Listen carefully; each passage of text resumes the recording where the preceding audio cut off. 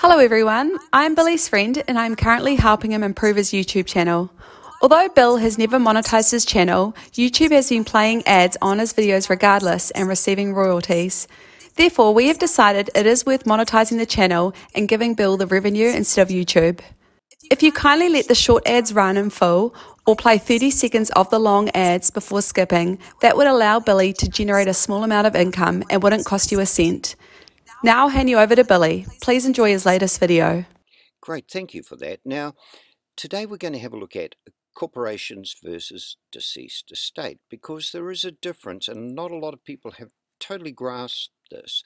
So hopefully by the end of this video, and you may have to watch it several times because there's quite a bit contained in here, uh, you may understand the difference and uh, it may become a little bit clearer. So corporations will first look at where the word came from. Corp came from corpse, the dead body of a human being. Now, if we go to etymology online, we'll find that it came from the Old French cors or from the Latin corpus.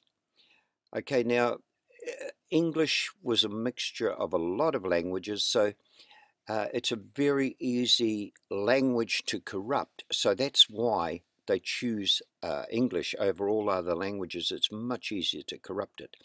So now if we look at a corporation, we will find that it is a legal entity created by or under the authority of the laws of a state or a nation.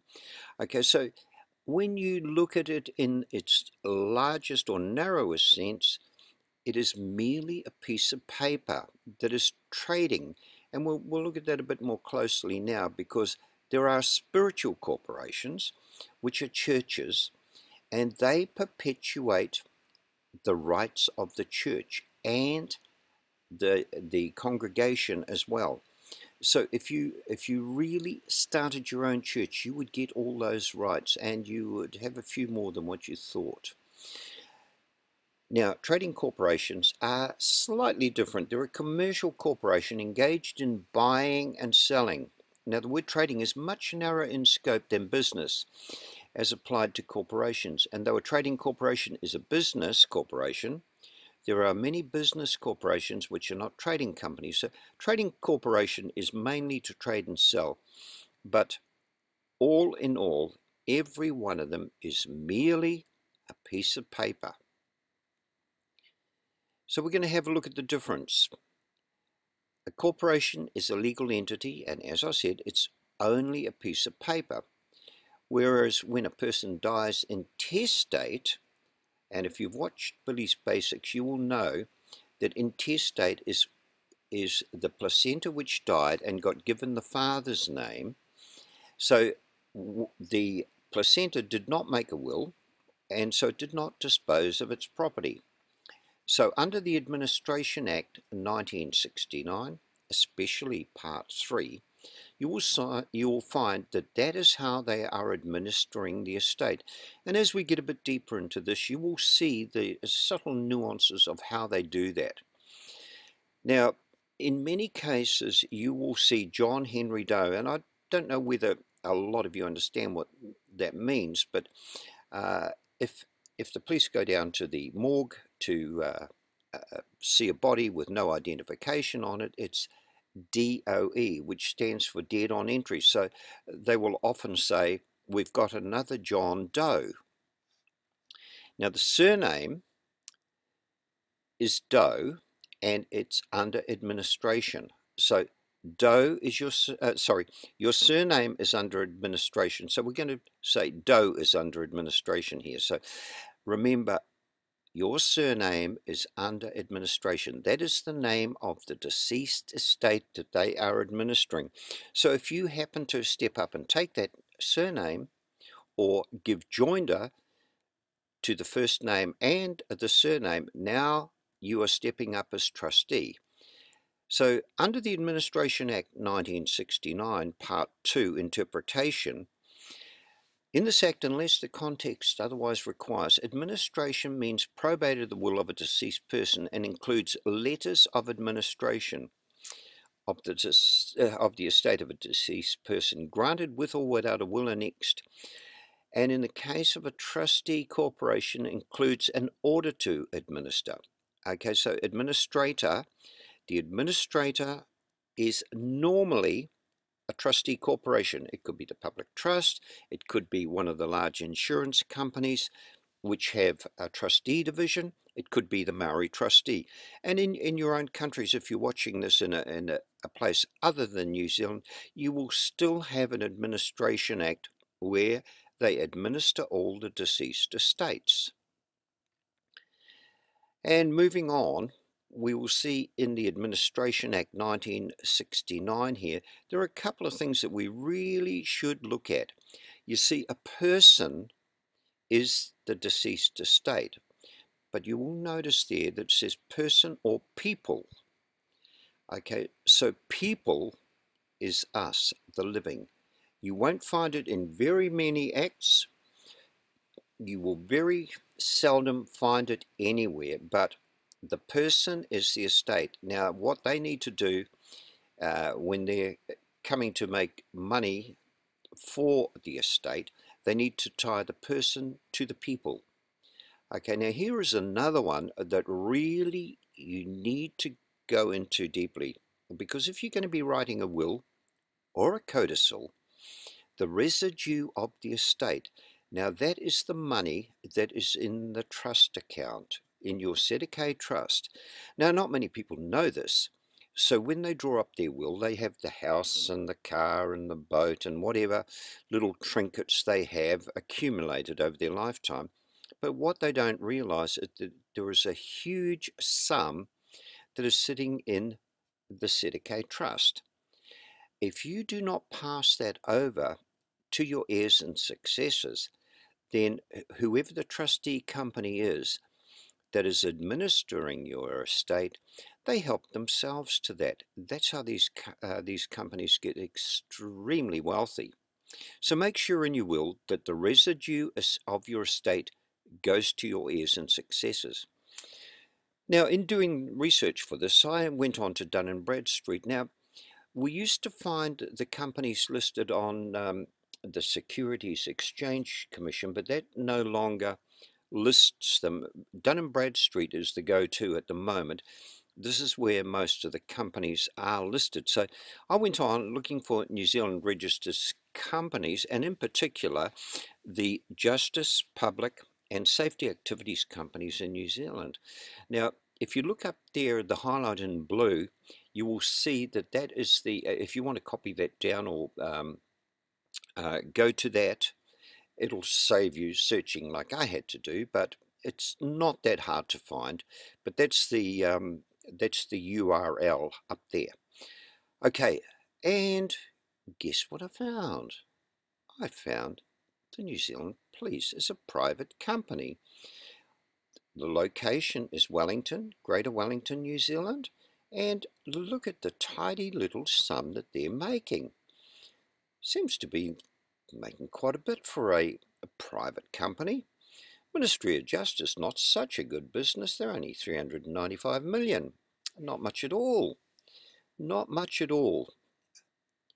Now, on that page that um, that I just mentioned in the previous uh, slide, you can scroll right down and you can see all the different ones that are listed on Dun & Bradstreet and you may get a surprise that a lot of these companies that are coming to you pretending to be government businesses are private companies and they're just trying to make money off you because you don't know your rights.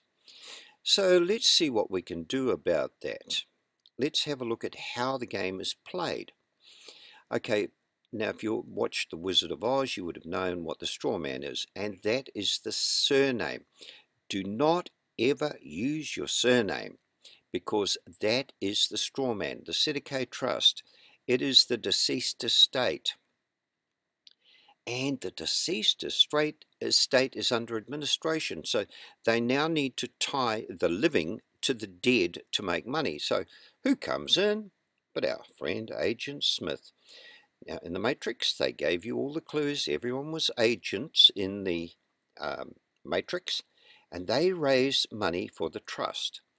When they raise money for the trust, they take the money off you because you don't know your rights, and they receive a commission. They're commissioned officers. Now, the Pirates of the Caribbean told you all about the commissioned officers.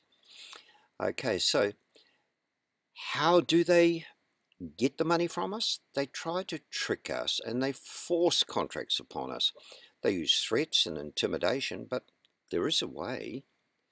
Intimidation is a tort that consists of the coercion of a person by threats of unlawful action into doing or not doing some lawful act either to his or her own, own or some other person's detriment. It's definitely to our detriment.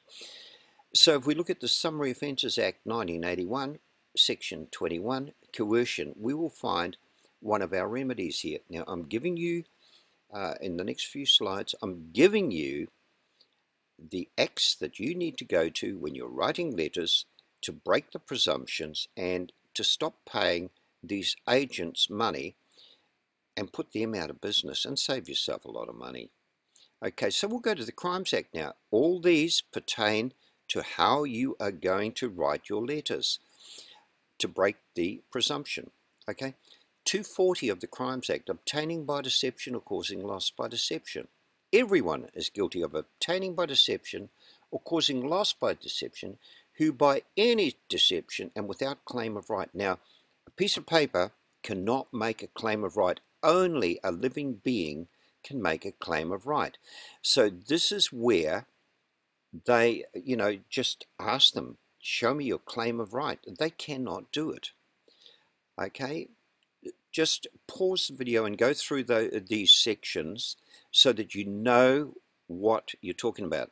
And section 1a also tells you every person is liable to imprisonment for a term not exceeding three years.